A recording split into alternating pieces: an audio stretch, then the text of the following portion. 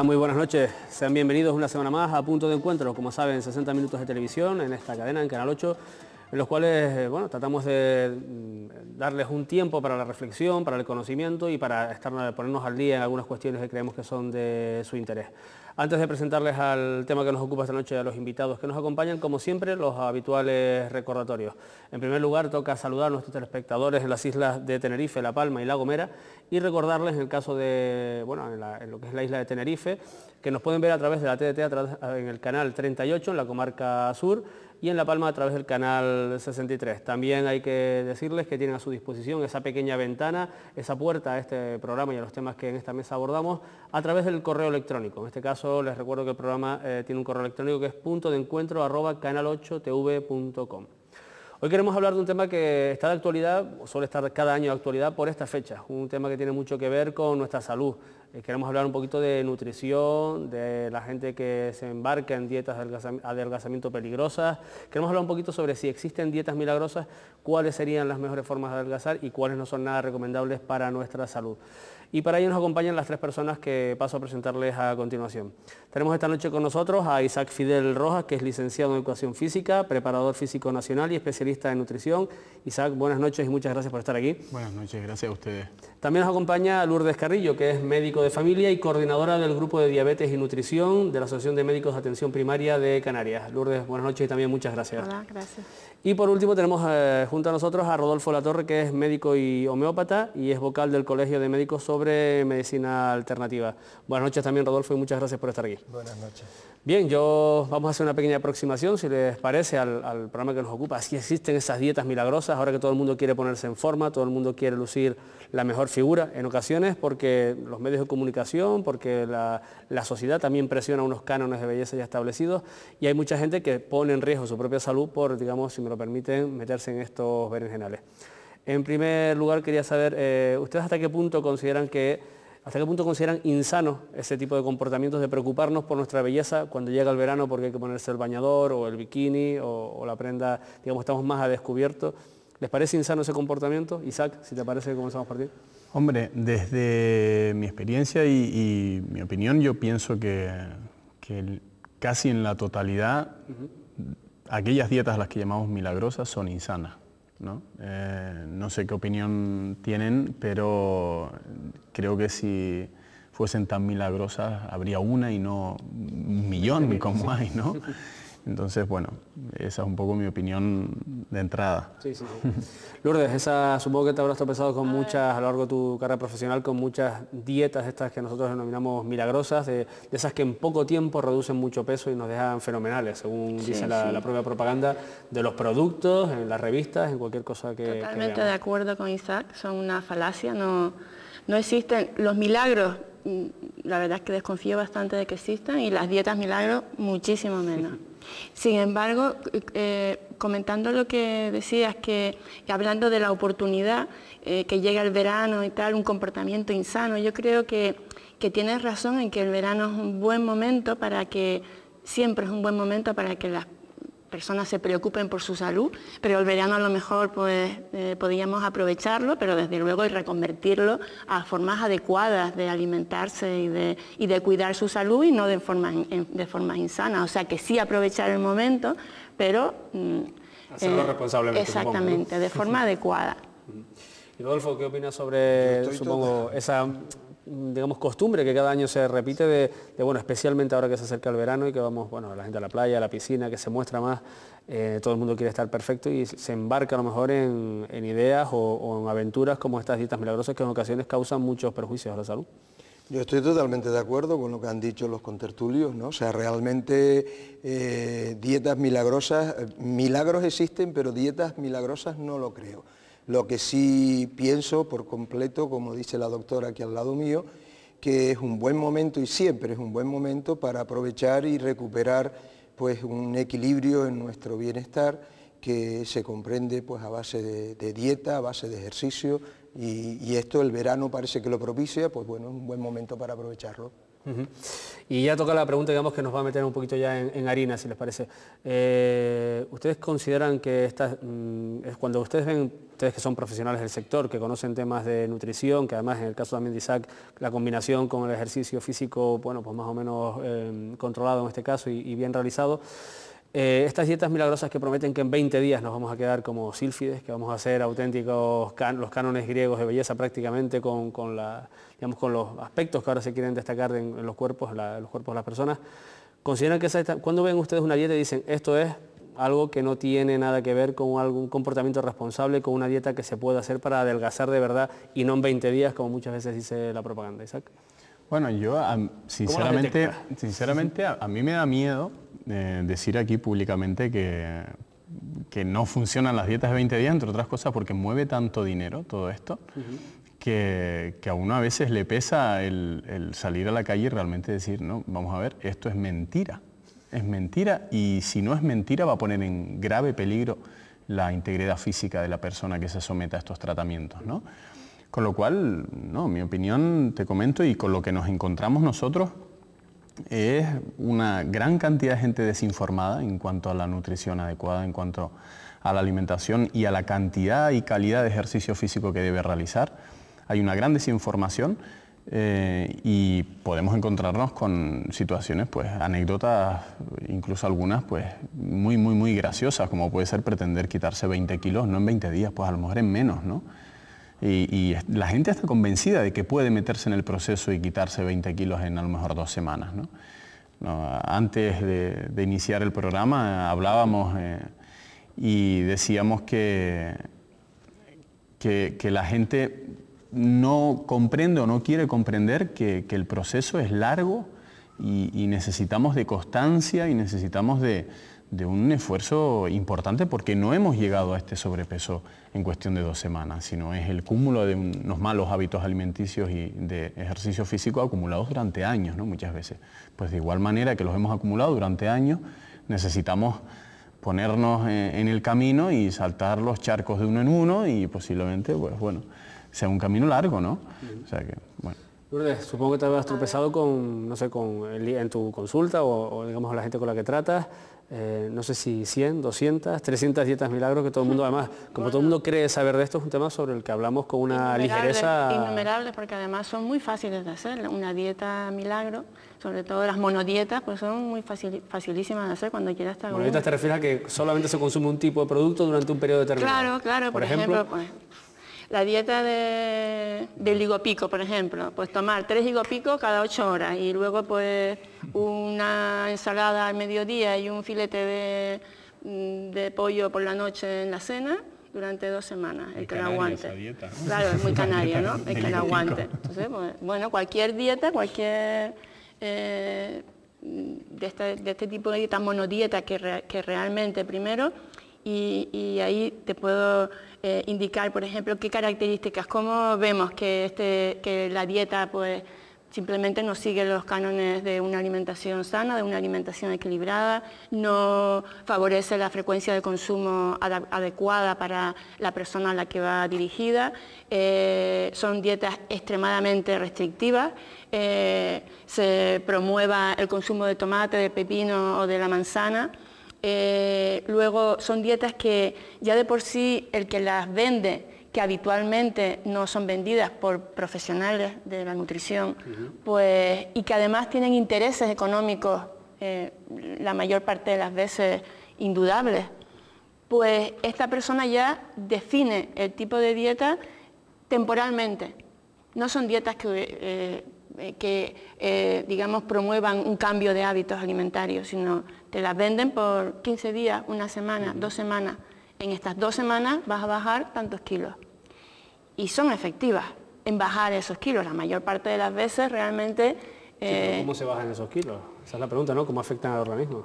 Exactamente. El problema es que mm, no se puede continuar con ese tipo de dieta y los problemas sobre la salud que producen, no tan, no, ni tan siquiera a la larga, incluso a corto plazo, son tan importantes que, realmente pues, son las que, precisamente por eso, por los problemas de salud que producen, pues tienen esa eh, necesidad de, no eh, prescribirse. digamos. Rodolfo, te has tropezado con, no sé, con gente en consulta, con, que te vienen, digamos, bueno, pues yo estoy siguiendo una dieta, la que sea, pues una dieta de esta que hablamos, eh, que estamos denominando hoy milagrosas, ¿qué cara se le queda, a, digamos, a, un médico cuando se enfrenta a una persona que está, entre comillas, arriesgando, pues bueno, su calidad de vida en el fondo y su salud, eh, por, bueno, pues por bajar unos centímetros en, el abdomen o, por ese tipo de cosas, haciendo o siguiendo pasos que nadie ha recomendado, digamos, ningún profesional ha recomendado, y en ocasiones tomando cualquier tipo de productos para conseguirlo. ¿no? Bueno, claro, en la consulta y después de tantos años, evidentemente me he encontrado con de todo, ¿no? Pero eh, lo más normal es que vengan a preguntarme eh, o a, pedir que le ponga una dieta, ¿no? Yo, a diferencia de los dos compañeros aquí, ellos saben más de dietas que yo. Yo soy homeópata y yo me dedico a tratar pues, el asma o, una hepatitis y esto de la dieta eh, siempre me ha confundido bastante, porque la verdad es que mm, en 25 años he visto multitud de dietas diferentes y, no solamente ya eh, en las revistas, sino también incluso en nuestros estudios como que va variando todos los conceptos, como si la medicina no fuera algo exacto, y efectivamente no es exacto, ¿no? El hombre es un compendio de cosas y no es tan exacto. Hasta el punto de que llegó un momento en que tuve que definir qué era para mí una, dieta, una dieta ideal, porque adelgazar o no adelgazar es disminuir la cantidad de los nutrientes, no el, el cambio de nutrientes de unos por otros, a no ser que tú estés enfermo de algo y necesites hacer una dieta especial, adelgazar es disminuir en la cantidad de nutrientes. Y yo pensé, bueno, sí, proteínas, hidratos de carbono, no sé cuándo. No, eh, eh, eh, todo venía en tantos por cientos y como de una cosa extraordinaria me encuentro con un maestro, un, médico, que me enseñó en una ocasión, dice, tú olvídate de todo lo que has aprendido, tú empieza a fijarte en la naturaleza. Dice, el león tiene su fundamentalmente caninos porque come carne y es carnívoro. bueno, pues el humano tiene 32 piezas dentales. De las 32 tenemos 20 molares, 4 caninos y 8 incisivos. Dije, ¿para qué sirve cada uno? Pues los molares para moler trigo, para moler eh, cereales, eh, eh, moler, ¿cómo se llama?, legumbres, ¿no? Dije, los incisivos, los ocho incisivos, pues para desgarrar fruta, verdura, y los caninos para proteína animal. Pues una proporción de 28 de vegetales, 4 de animales, 7 a 1, 7 de vegetales por 1 de animal o, 1 de proteína animal. Bueno, ya ahí me empezó a introducir en un mundo diferente, que todo empezaba a tener un cierto sentido, porque hasta ese momento era todo porcentaje, cosas raras, ¿no? Y, bueno, yo esto un poco se lo explico, un poco largamente, a mis pacientes y le digo, mm, lo aderezo con algunas cositas como por ejemplo desayuna como un rey, almuerza como un, eh, como un príncipe y, cena como un mendigo, cosas, esto y disminuye tu cantidad. Entonces, el resto de las dietas, ¿me vale o no me vale? Yo encuentro dietas depurativas, como dice Lourdes, monodietas y tal, que a mí me dan una grima de, yo qué sé lo que está tomando, no sé ni qué nutrientes tiene eso, ni, ni, sé cuánto tiempo. Vamos, yo no me atrevería a recomendarlo y para recomendarlo tendría que ser casi bioquímico, haber mandado antes una analítica, saber de, ah, pues esto lo puede hacer, esto no, y yo no lo sé hacer. Entonces yo lo que sí sé hacer es recomendar, ayudar, eh, decirle que es importante el comer sano, pero no, no llego a mucho más. Ustedes dominan más el tema que yo, estos dos ejemplos que ha puesto Rodolfo son muy ilustrativos, bueno, de, más o menos qué sería comer sano. Sin embargo, en contraposición a ese mensaje, sí es cierto que como ciudadanos, como consumidores de, bueno, de los medios de comunicación, televisión, radio, periódicos, revistas, se nos bombardea constantemente con que tenemos que tener, digamos, como decía yo antes, unos cánones y que el cómo llegamos a ellos no se explica tan bien como ha hecho, por ejemplo, Rodolfo ahora, ¿no? No sé qué opinan sobre ese bombardeo que estamos sometidos, Isaac.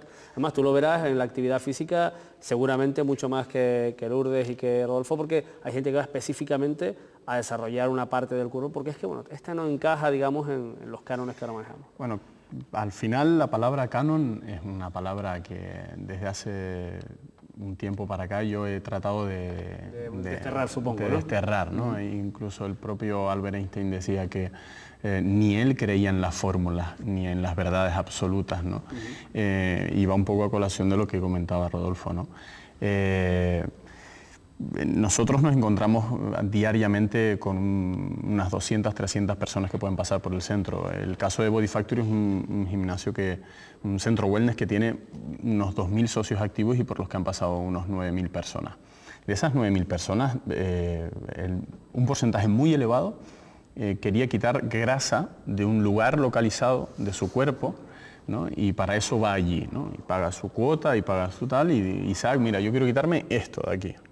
Bueno, eso de ahí, al final, que se lo tenemos que decir, yo se lo digo en broma, cirugía. Porque si pretendes con una actividad física... hacerlo desaparecer? Claro, o sea, te meto el hachazo ahí y ya te lo quito, pero con la alimentación o con, o con el ejercicio físico, solo ir a esa parte que es la que no te gusta, el resto, por favor, déjamelo como está. ¿no? Pues bueno, pues es imposible, imposible. ¿no? Nos encontramos con mucha gente que quiere solo reducir cintura, quiere solo que el, que el culo, si lo puedo decir así, ¿no? Se le ponga allí donde lo tiene Jennifer López, ¿no? O eh, el pecho o los bíceps como los tiene el actor que acaba de ser eh, Lobezno, por ejemplo, ¿no? Eh, cánones, cánones, cánones, lo hablamos antes también. no hemos logrado todavía entender que somos todos seres eh, de la misma, no raza, de la misma especie, pero que somos todos totalmente diversos unos de otros y, no hemos logrado todavía entender que, que posiblemente haya un, concepto maravilla en cada uno y que una vez lo, lo logremos mm, discernir y definir bien, eh, yo creo que todo el mundo cambia el chip rápidamente y se olvida estos cánones de querer ser como Brad Pitt o Angelina Jolie, eh, o imagínate que yo quiera tener el pelo de, Valderrama, ¿no? O sea, me suicidaría porque nunca lo... Nunca, ¿no? pero por mucho que entreno, por mucho que me alimente, no, no me va a salir el pelo este de Valderrama, ¿no? Bueno, son ejemplos bromas aparte, bromas aparte. digamos esa dictadura en ocasiones de, bromas aparte. estereotipos. Logramos entender perfectamente cómo la maquinaria del coche funciona con el aceite, el agua y la gasolina sin plomo 98, diésel o cual, o cual lleve. Y que si sé que yo en el depósito de gasolina le meto agua, el coche yo por mucho que le haga el contacto, ¿eh? por mucho que lo frote, por mucho que lo caliento, lo envuelva en una sábana o lo meta en la sauna, el coche no va a arrancar y no va a funcionar con normalidad. Nosotros siendo mil veces más complejos que la mecánica de un coche, eh, creo que deberíamos entender que necesitamos nuestra gasolina adecuada en las cantidades adecuadas. A mí me encanta el ejemplo que puso Rodolfo antes de, los molares, y porque es muy gráfico y es muy natural la explicación. Eh, ¿Y qué necesitamos? Eh, si no en porcentajes absolutos, que ya dijimos al principio que no existen seguramente verdades absolutas, ni siquiera esta, como decía Alberto Einstein, ¿no? Albertito.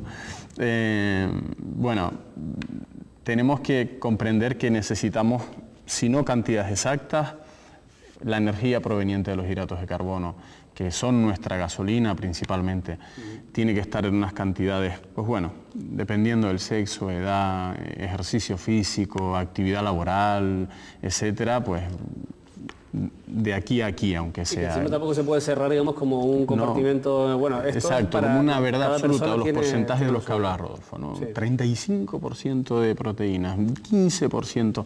Hay pirámides y hay un librito de la eh, que, el otro día hablando con el director general eh, de la salud pública nos daba un libro de la estrategia Delta que se implantó aquí en el ámbito de la nutrición en el año 2005 y que sigue ahora un poco trabajándose con la estrategia NAOS del, gobierno, que establecía un cuento para niños que era un viaje por las pirámides, se llamaba, y que eran todas las pirámides de la alimentación desde que se implantó la primera hasta la última que es una de las del Delta. ¿no? Al final la, pirámide del delta habla de, casi bueno, un número X de nutrientes esenciales eh, en la parte baja de la pirámide, pero donde estaba también el agua en cantidades rondando pues el litro, dos litros al día, dependiendo evidentemente de dónde vivas, de la humedad relativa, del ejercicio físico que hagas. Tú imagínate cerrar eh, dos litros al día.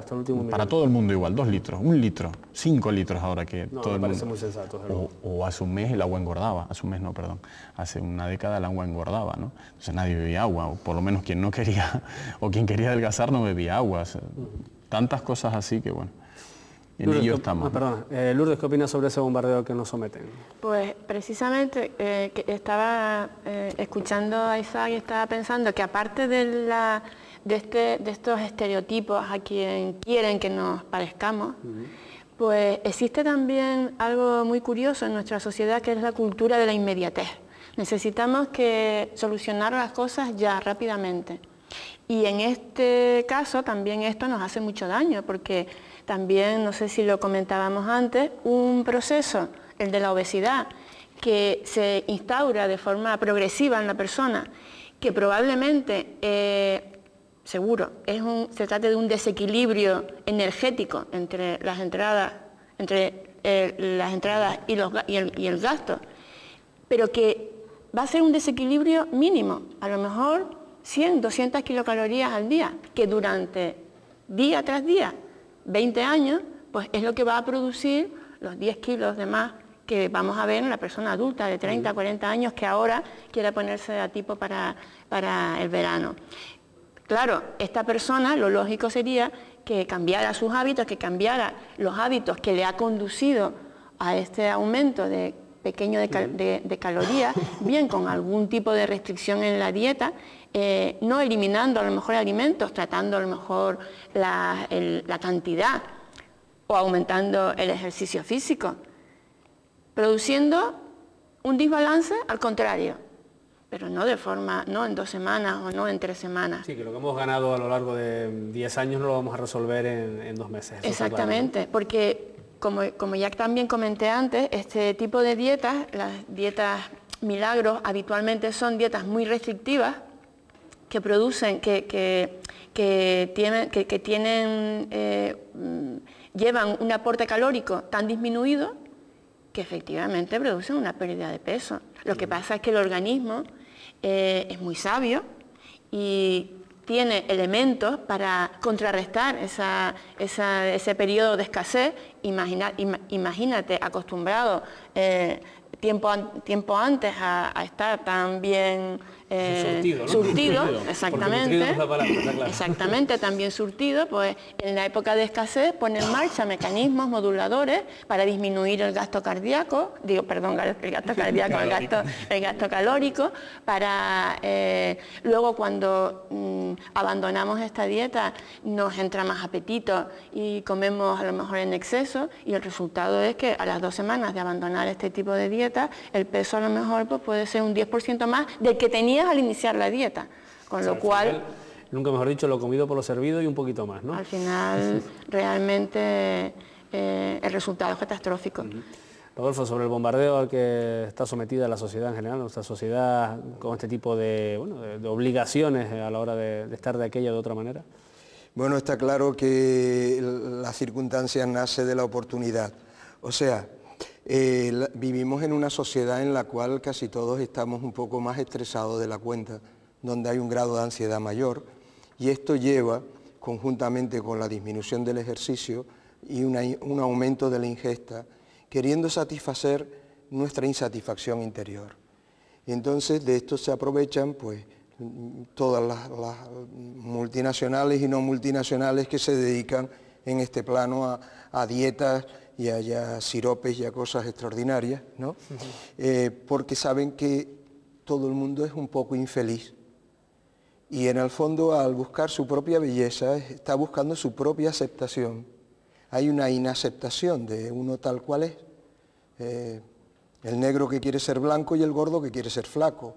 Y, el flaco que quiere ser gordo. y así estamos todos queriendo ser lo que no somos. Entonces, eh, de esa insatisfacción nace una ansiedad que genera un apetito más aumentado, conjuntamente con una sedentariedad, o sea, no, hacemos ejercicio, pues nos engordamos. Eh, eh, yo veo a las niñas de ahora gordísimas, veo muchas niñas gordas, ¿no? Sí, en el caso de los niños adolescentes hay datos que cada vez más, en el caso canario están aumentando de peso. Efectivamente. Y dices tú, ¿y, qué ocurre? Porque yo no viví en una época de carencia, o sea, en mi casa pues una casa normal como cualquier otro canario, donde había de todo para comer y, sin embargo no había tantos obesos, en nuestra edad no había, en mi edad no había tantos obesos. Y ahora sí que los veo.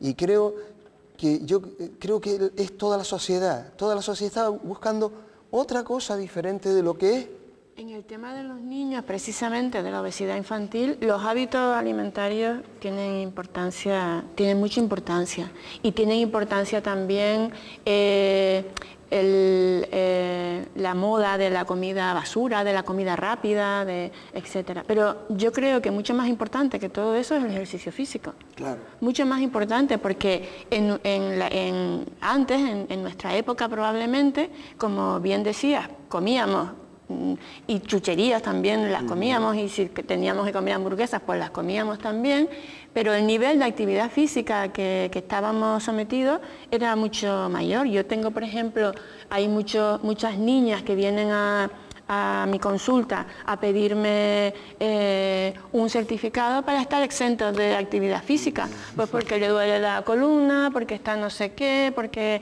le da un mareo que, en fin. Eh, entonces estamos un poco... Que tendrán razón de ser, pero otros simplemente no quiero hacer Probablemente ¿no? Probablemente no, no, haya, eh, habrá muy pocos casos en los cuales un niño sano eh, tenga por qué estar exento de actividad física. Y si es un niño con alguna enfermedad importante, pues no solamente está exento de actividad física, sino de otras muchas cosas. Pero un niño sano mm, no tiene por qué eh, estar exento de actividad física y menos la que dan en los colegios que es bastante, bastante limitada. Pero es más, yo mm, eh, también, o sea, eh, me estoy refiriendo no solamente a la actividad física del colegio, a la necesidad de, promover en la, en la población infantil no solamente la actividad física en el colegio, sino una actividad deportiva extra que también los padres hoy en día pues estamos menos condicionados para eso, por la prisa, por el, trabajo. no, hay tiempo para dedicarle ni a los niños ni a muchas otras cosas que sin duda son importantes. Y ellos no lo facilitan porque a ellos les gusta más la maquinita. Y en mi época nos gustaba más el balón en la calle. Bueno, no había maquinita. Si, si, me lo permiten, tenemos que dar eh, paso a la publicidad y a la vuelta seguimos aquí en Punto de Encuentro hablando sobre las dietas milagrosas.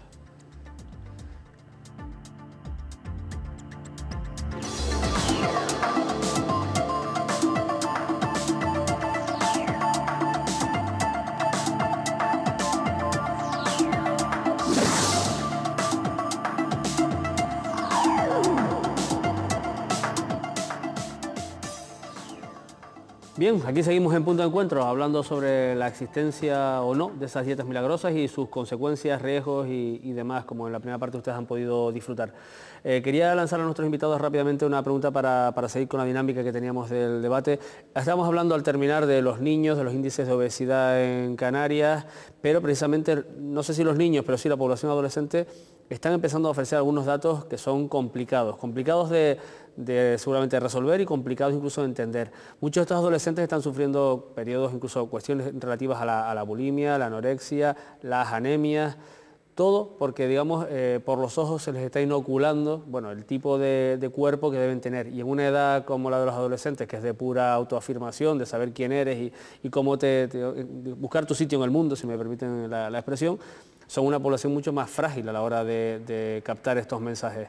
Isaac, ¿qué opinas al respecto? Bueno, eh, te puedo comentar rápidamente eh, los índices de obesidad infantil eh, con los que estuvimos trabajando hace nada, la semana pasada, o estuvimos revisándolos ya que en el caso de Body Factory vamos a entrar en unas estrategias y la implicación social de la empresa privada, en nuestro caso también va a ser importante en este ámbito. estudiando sobre el tema y debatiendo con profesionales, nos vimos que teníamos un 24% de sobrepeso infantil eh, en, Canarias y un 16-17% de obesidad. Eh, es la comunidad autónoma eh, a la cabeza, líder desgraciadamente en, España en estos valores y que España está en el podio mundial con la medalla de bronce detrás de, Estados Unidos y Reino Unido en obesidad infantil.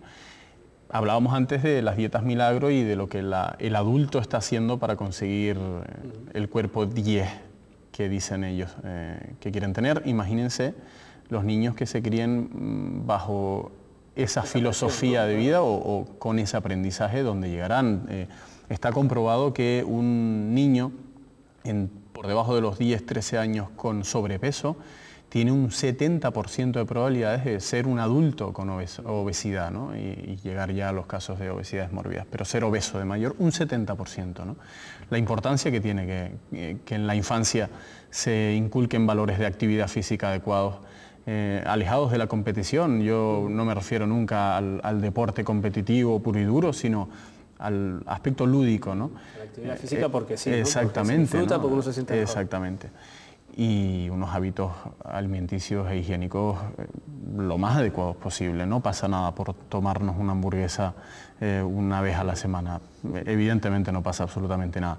El problema es que todos estos alimentos eh, forman ya parte habitual de la alimentación de un, de un ser sustituido eso, por debajo la dieta 14 años. Y, y, esto es cómodo. Yo vi, desgraciadamente, mañana en Body Factory tenemos una charla sobre obesidad infantil, casualmente, valores de epidemia, eh, y eh, la monté a raíz de ver por donde yo vivo a un padre que se bajaba con sus dos niñas, pero que no me identifique, que no, que no sé por aludido quiero decir, pero que se bajaba del, coche con las dos niñas, yo creo que no pasaban de, 10 añitos las dos, y que de merienda venían de dar actividades extraescolares, venían con su chándal y un balón de baloncesto, yo imaginé que vendrían de, dar baloncesto, y de merienda les estaba cada una con un paquete de una marca de papas fritas eh, empaquetadas, y esa es la merienda rápida, no, no hay que cocinar nada, no hay que elaborar nada, esto es muy rápido y encima a las niñas les encanta, ¿no? Muy salado, muy sabroso,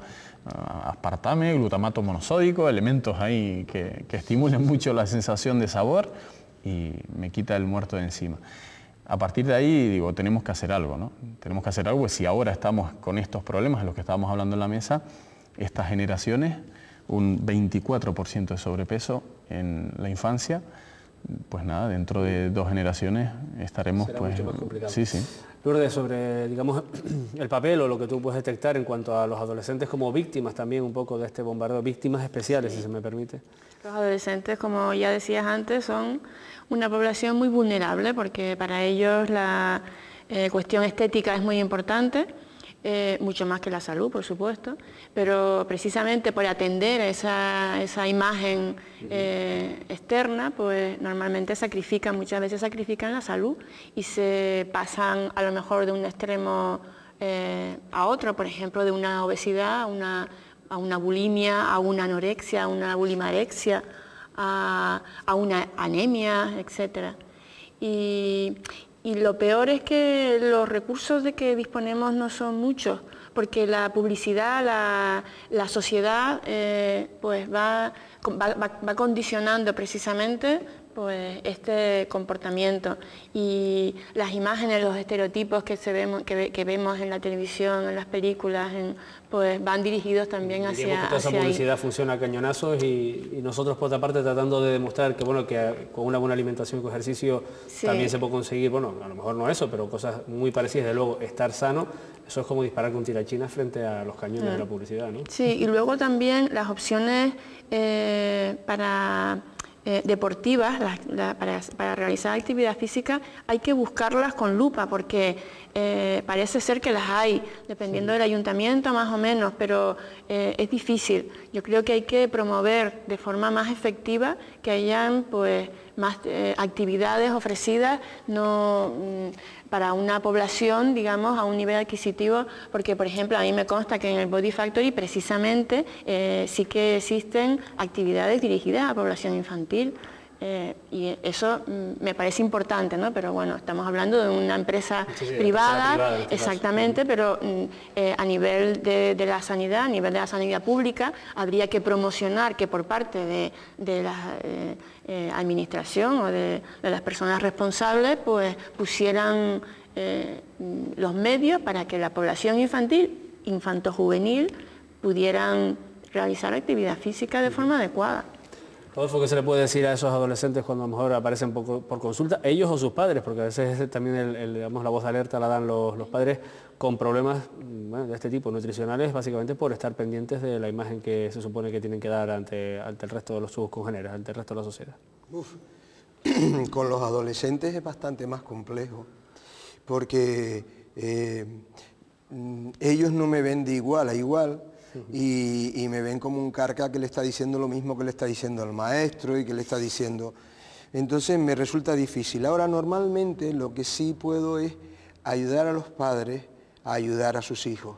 O sea, eh, en una casa donde normalmente el padre saca una botella de Coca-Cola para hacer la comida, a mí yo me quedo absorto porque realmente, y no me desagrada la Coca-Cola, o sea que también me tomo una Coca-Cola, pero no se me ocurriría en la vida, ¿no?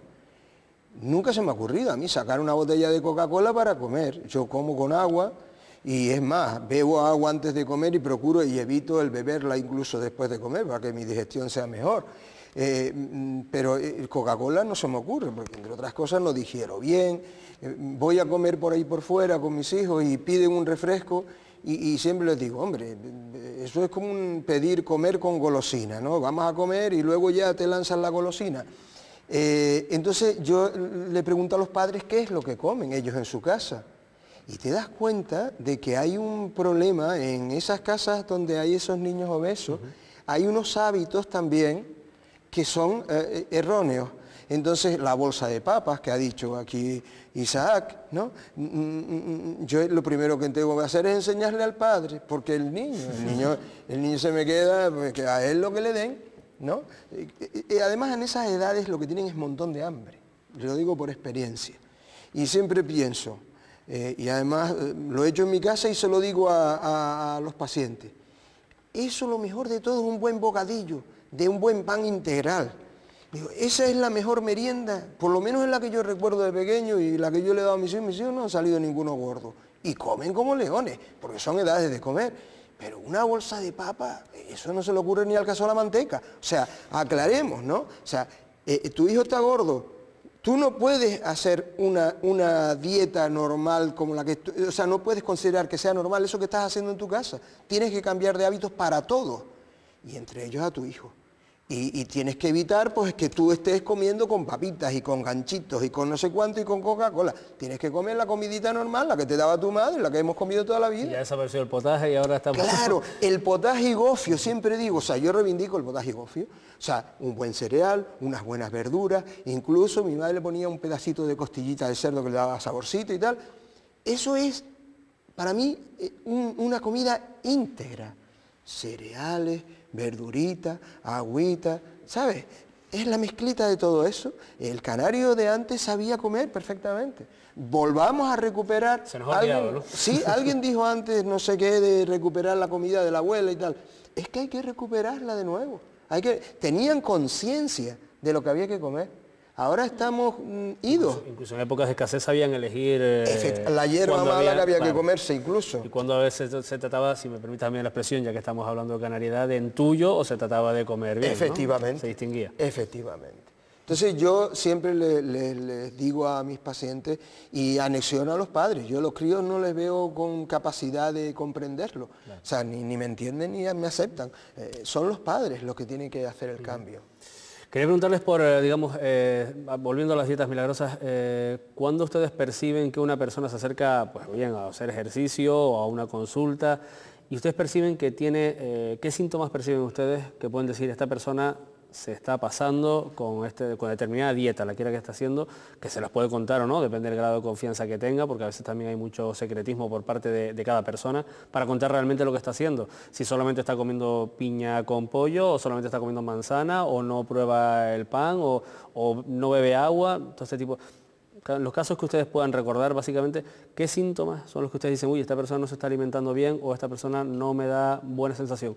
Y me gustaría ser muy práctico para que los televidentes pudieran, pudieran entenderlo. ¿no? Bueno, en el ámbito de la actividad física es bastante fácil identificar cuando alguien se está nutriendo de manera inadecuada. ¿no? Eh, pues un nivel de vitalidad muy disminuido, muy bajo, eh, se cansan con muchísima facilidad, incluso eh, no viniendo de una de unos hábitos sedentarios, sino siendo personas muy activas cuando eh, incorporan a su vida eh, momentos de actividad física concretos, como pueden ser en un centro deportivo, en un gimnasio, en la playa, en un paseo, eh, se cansan. ¿no? Eso ya es un síntoma de que algo pasa. ¿no? Algo pasa y probablemente si no hay ninguna patología evidente, lo más probable es que sea una... Digamos con poco esfuerzo. Exactamente. Lo, más probable es que sea una disminución de la vitalidad de la que hablábamos antes con Rodolfo, derivada de una mala alimentación, de una mala nutrición. ¿no? Eso primeramente, ya después pues lo notas o lo acabamos notando y mi experiencia no es muy larga en esto, como puede ser la de Rodolfo o la de la doctora, pero notas en los ojos de, la persona que, si quieren y me admiten el, ejemplo, que se está nutriendo mal. Eh, y vemos que, que su nivel de creencias y su nivel de, de dogma sobre, oye, yo estoy comiendo solo piñita y agua y un tecito y me va genial y yo con esto estoy bajando de peso y esto es extraordinario para mí. Entonces identificas que, la cosa no va bien, ¿no? No va bien, ¿no? Entonces, bueno, sintomatología esa yo pienso, es con la que nosotros principalmente nos encontramos, ¿no? Lourdes. Nosotros, a ver, eh, normalmente dentro de nuestro interrogatorio, mm, el enfermero... fuerte, ¿no? Bueno, perdóname, la, broma. Anamnesis, vale. Eh, tanto el enfermero, sí, tanto el enfermero como nosotros eh, preguntamos sobre los hábitos alimentarios, qué tipo de, dieta sigue, la gente etcétera. Supongo que mentirá bastante. Muchísimo, es decir, que mm, la mayor parte de la gente no viene diciendo que ha hecho hace una semana la dieta del pepino, no. Eh, la mayor parte eh, de, este tipo, eh, a través de esta, de esta anamnesis, de, este, de estos cuestionarios, pues podemos detectar pues, personas que que a lo mejor pues no, toman mucha fruta o no comen carne o no comen legumbres porque les han dicho que las legumbres engordan mucho y entonces no las comen, etc. Pero ya digo que dietas eh, milagros pues no acostumbramos a detectar. La mayor parte de las veces nos vienen gente con mm, este sobrepeso, este 10% eh, de peso más que ha cogido después de hacer la dieta milagro para ver si nosotros podemos eh, arreglarlo. Y Y entonces en ese momento es cuando nos cuentan que hace 10 días, un mes o dos meses, pues han hecho este tipo de, dieta. Pero precisamente eh, uno de los errores de estas personas es no acudir a los centros de salud, no acudir al médico, al médico de familia, que eh, normalmente sí que estamos en disposición para ofrecer alguna alternativa más saludable que estas dietas milagros. desde luego, nutricionales, supongo. Efectivamente, desde luego no como ellos pretenden para solucionar el problema, como decías tú de esta señora de, diciembre, de, en diciembre para fin de año bajar 20 kilos, no, eso no probablemente porque saben que eso no le vamos a ofrecer, pues a lo mejor no vienen a nosotros primero, sino van a estos otros sitios para hacer la dieta milagro. Y nosotros cuando lo vemos, pues somos, vemos eh, normalmente las consecuencias negativas. O cuando surge una anemia, por ejemplo, este, este decaimiento, este malestar, este desfallecimiento que comentaba hace poco, eh, que comentaba Isaac, pues vienen a la consulta para ver porque para que le pidamos una analítica a ver si, tienen una anemia y haciendo, ya digo, pues eh, buscando un poco en los antecedentes nos encontramos con que había hecho un tipo de dieta de este tipo. Así tiene que hacer labor de detectives, ¿no? Más o menos, más o menos. Rodolfo, ¿qué síntomas percibes cuando ves a una persona, no sé si con las dietas milagros o que por, lo menos que no está comiendo bien, que no se está nutriendo adecuadamente y se acerca a la consulta y a lo mejor uno lo va a entrar y le hace, como decía Lourdes, dos preguntas y ya empieza a detectar cosas, cosas extrañas?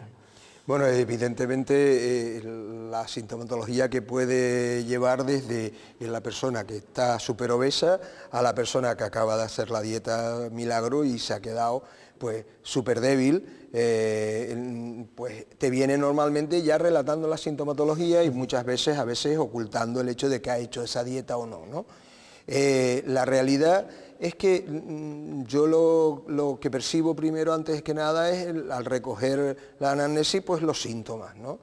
Y hay síntomas que me describen pues una debilidad, eh, desde una cefalea, o sea, un dolor de cabeza, o un no quererse levantar por la mañana, un cansancio después de comer atroz, una serie de cosas que dices tú, bueno, ¿y qué tal comes? Entonces ya le interrogas por ahí, ¿no? Porque te hace encenderte una bombillita y dices, oye, igual esto es simplemente que tiene una anemia como un castillo.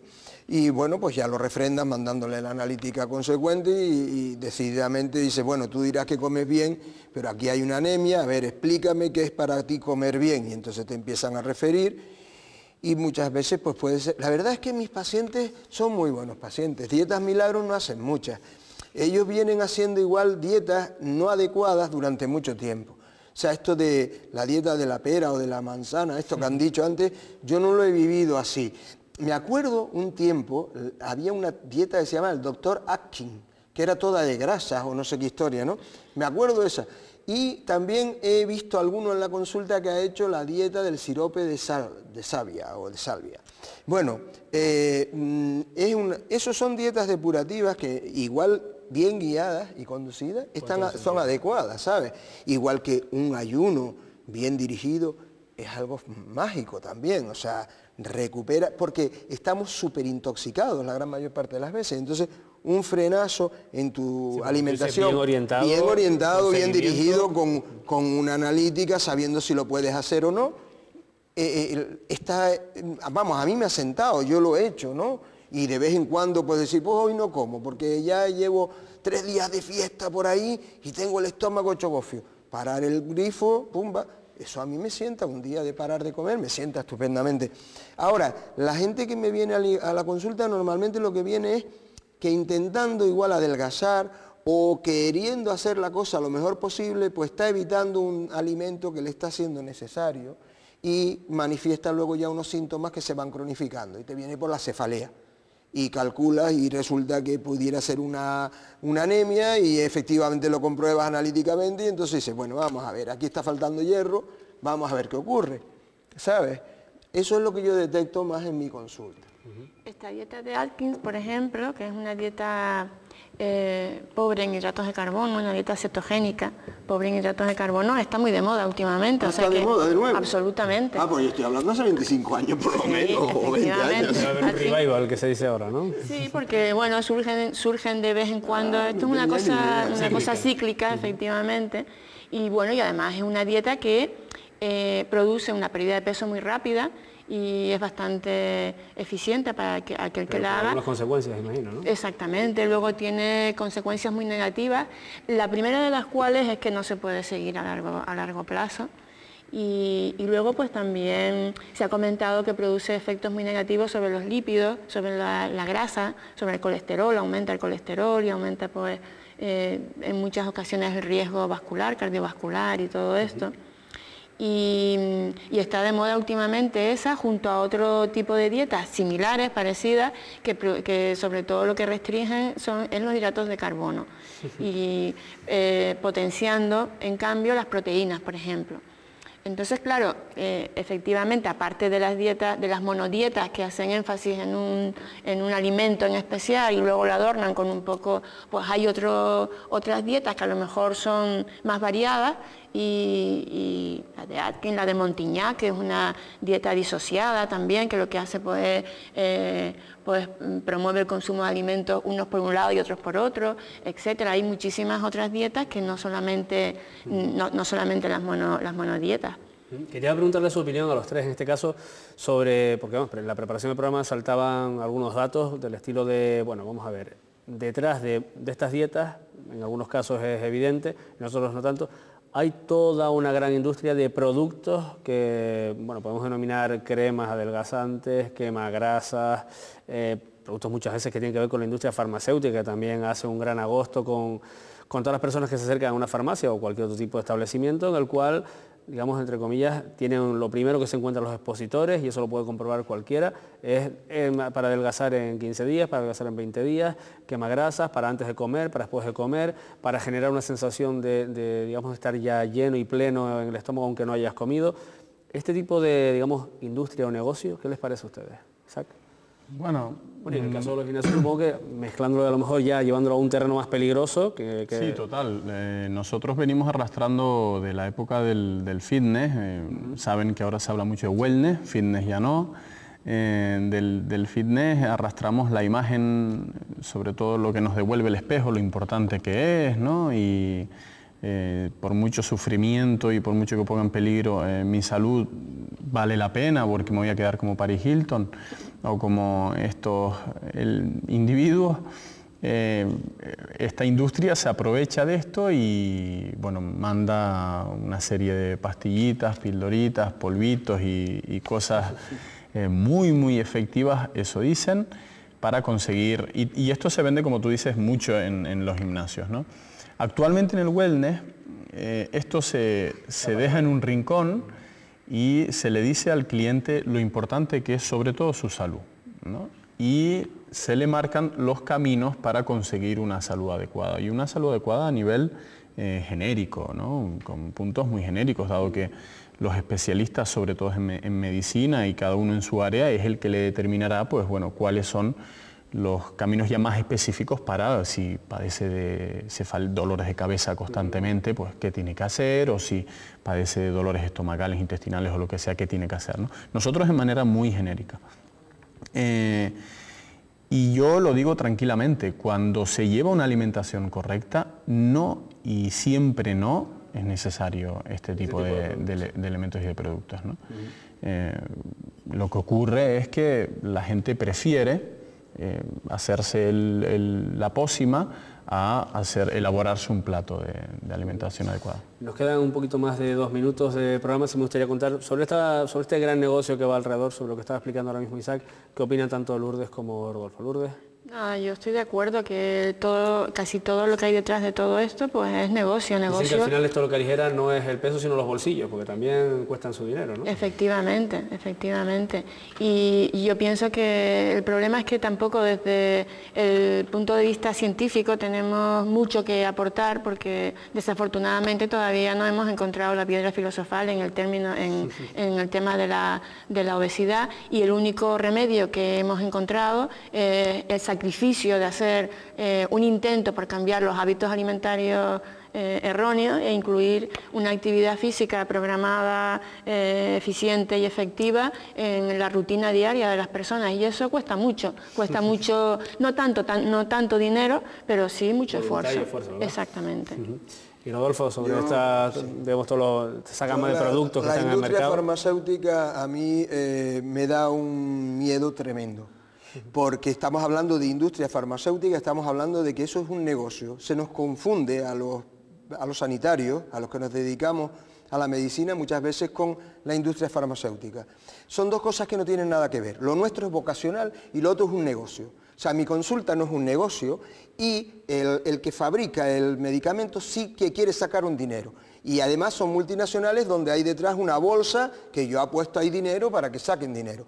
Entonces por eso le tengo muchísimo miedo a todas las alarmas que existen y no voy a nombrar ahora ninguna, le tengo miedo a todos los productos milagros, le tengo miedo, o sea, yo escucho al representante farmacéutico porque viene con muchísima formación, pero escucho, tamizo y decido y mi decisión vale un Perú. O sea, yo por el nombre y porque me regalan la libretita y el bolígrafo, no doy nada, porque me da miedo.